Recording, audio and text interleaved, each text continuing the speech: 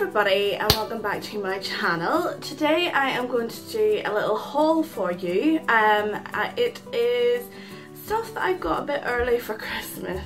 Yes, I'm naughty, I know, um, but I wanted to get a few bits and it was a three for two on Freedom makeup and just a couple of days on. Anyway, without further ado, let's get going. So I'm going to start off with uh, Freedom makeup. Now they had a three for two on and I kind of like the look of this, which is the Pro Strobe palette um, and it is basically a highlight and contour palette with a brush. Um, I bought three, not all for me, um, two for Christmas presents um, and I'm just going to show you what it comes with. So on one side, you open it up and the palette is there. Um, and the next side, you open up and there's like a contour brush, like so. And this contour brush is so soft, I haven't tried it on my face yet, but I can imagine that the uh, shape of it would be good for the contour but the softness would be good for the blending. So I think it is going to be quite a good brush. Um, and I think right I don't know whether they watch my videos but the people that they're for are quite young teenagers and um, I think it's a really good kind of starting out into contour thing so the palette comes like so so it's got um, three contouring shades and three highlight shades. So it's got a kind of neutral uh, setting powder, a yellowy base setting powder and a shimmery highlight. And then it's got,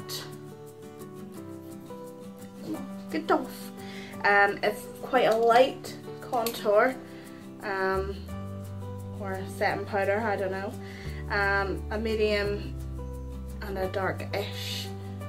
Um, they are quite pigmented but they feel like they'll blend nicely.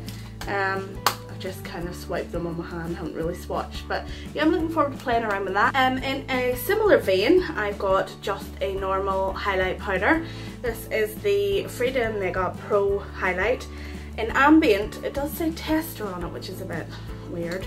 Um, as far as I'm aware they're not in shops and I do have that on today on my cheekbones and on the end of my nose. It seems like a very fine soft powder which is really good. It's like not too glittery. Um, it's kind of more sheeny which I actually prefer. Um, in comparison to this bad boy, which is the Becca On The Go Shimmering Skin Perfector in Opal. Um, the Becca one is a hell of a lot shimmerier more shimmering. Um, so let's have a look at that. So basically this is a little travel kit um, and it comes with uh, Shimmering Skin Perfector Spotlight in Opal. This is the liquid. And Shimmering Skin Perfector Pressed in Opal. Now I think, I wore this on Friday night out and I think that I'm not that fussed on this colour on my skin so I think that Moonstone would probably suit me a bit better. It's a bit whiter and frostier. Um, I think this would suit a darker skin tone to mine, um, but it is really, really nice. So basically that is this Shimmering Skin Perfector Pressed. It comes in a small size, um, but I never get through things. And this wee kit was like 20 quid, and the skin Skimmering Shin Perfector? No. Shimmering Skin Perfector alone's like 30 quid, so it's very golden. Uh, and rather shimmery if you can see that on the back of my hand um, but it is it is pretty whenever I put it on the end of my nose I felt like it was a wee bit of a disco ball on Friday night so don't know. Whereas the liquid is actually really really nice. Not that the, the pressed isn't but this is a lot more natural. Um, it is comes with a little doe foot applicator. Um, it's a nice creamy liquid. Um, it's like pearlescent almost and I had this on on Friday during the day um, because I didn't want to wear too much makeup if I was wearing it out, you know, topping it up um, whenever I went out on Friday night. So um, it was nice, it gave me a nice glow. So I've kind of gone off the Freedom Makeup course and I think I will jump back on with this. This is the Freedom Makeup Pro Studio Glycolic Tonic with ginseng and aloe vera.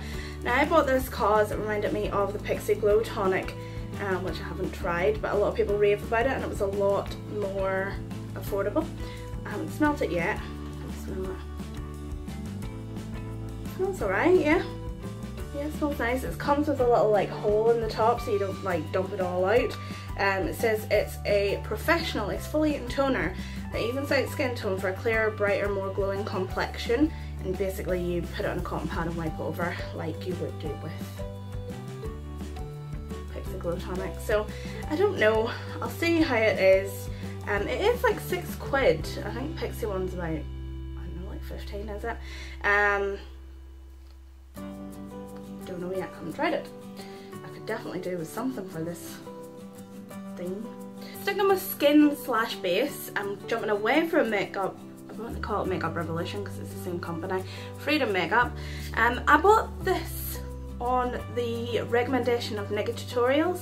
Um, it's Nivea Men Post Shave Balm. Now I don't know if I got the wrong formula, this is a sensitive one, or whether I'm using it wrong, but this does not like my skin, slash my skin does not like it. Um, it's alright whenever it first goes on, but throughout the day I find myself getting quite greasy, which for me is the point of a primer. Um, not to control oil, but like to keep your makeup on. I feels like my makeup's kind of sliding and slipping around. My friend's coming back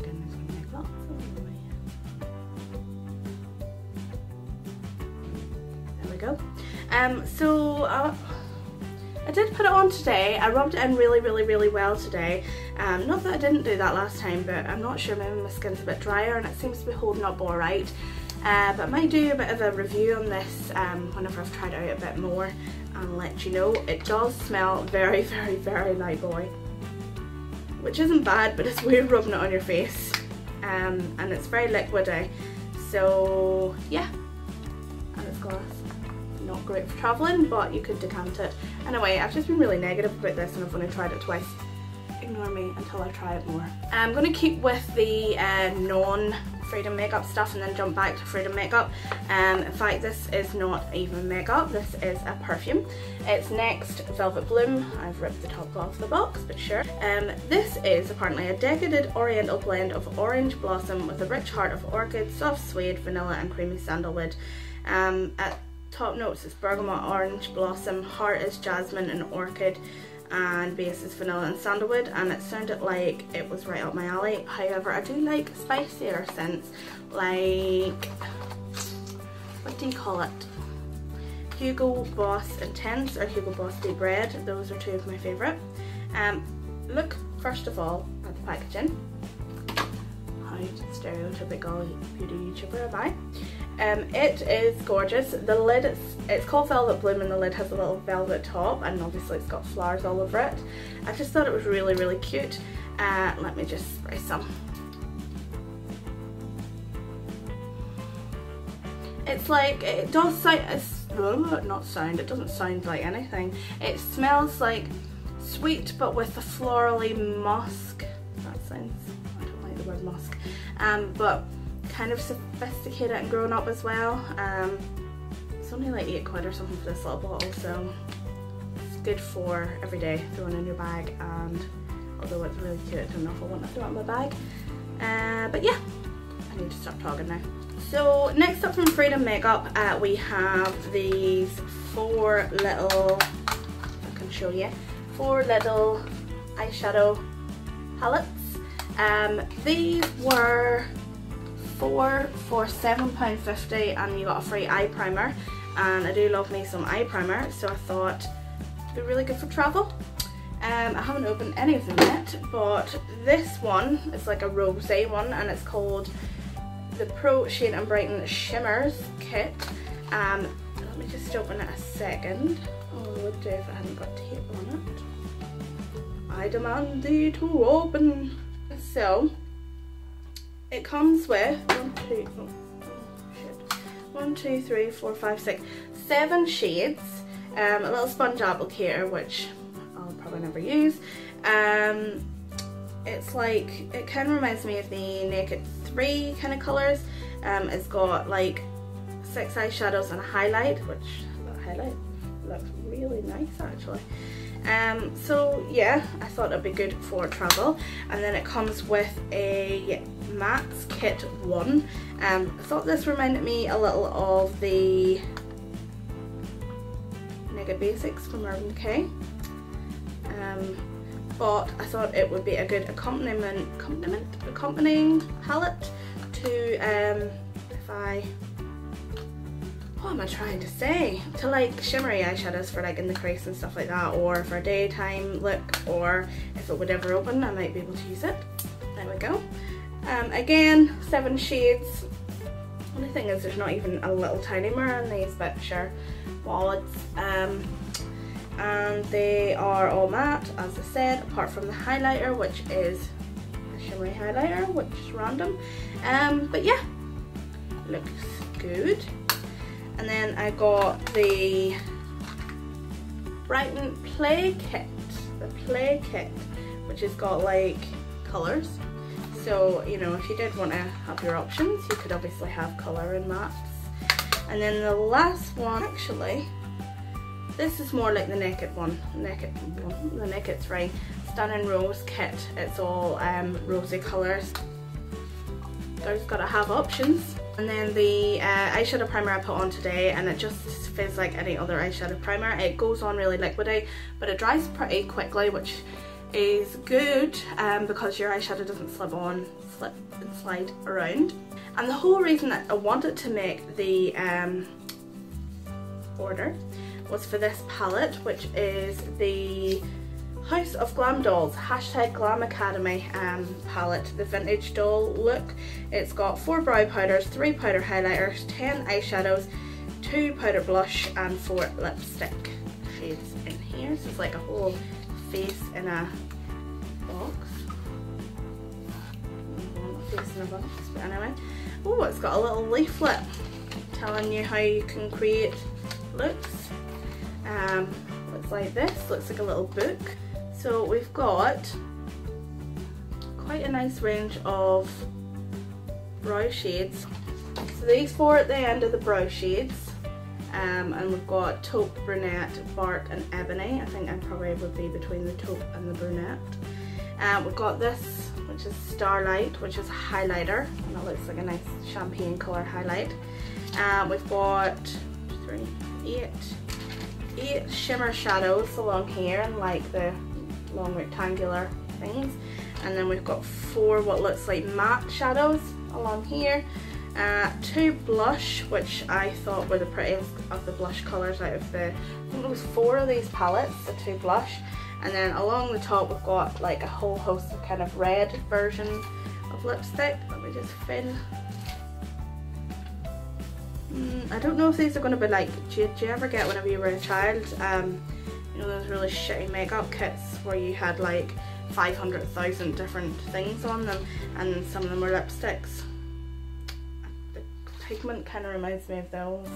So I'm not sure if I'll use the, uh, what do you call it, lipsticks, but the rest looks nice and I thought it was quite a cool thing and I think it would be a nice gift idea as well. I think it was something like 8 quid.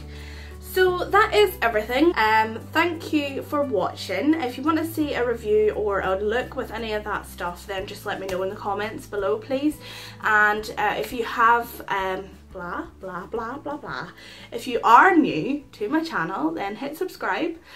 Bye!